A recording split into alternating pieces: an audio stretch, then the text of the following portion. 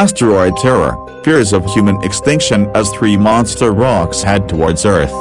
Three mega-asteroids are currently on a course that could see them smash into Earth according to experts, raising fears about the future of the human species. An asteroid strike on Earth from a large rock could cause carnage.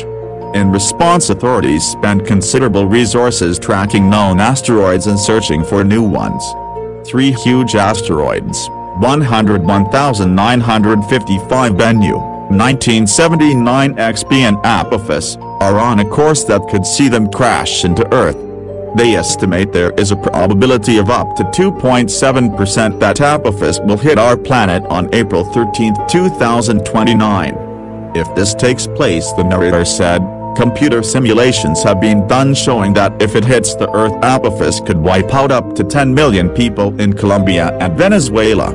A strike in the Pacific Ocean would wipe out every coastal city and town along the west coast of the United States. 1979 XB will first pass close to Earth in 2024, but will continue to pose a threat till the middle of the century.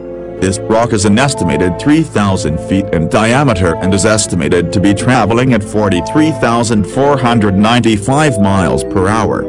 The final asteroid, 101,955 Bennu, has a 1 in 2,700 chance of hitting Earth between 2,175 and 2,199.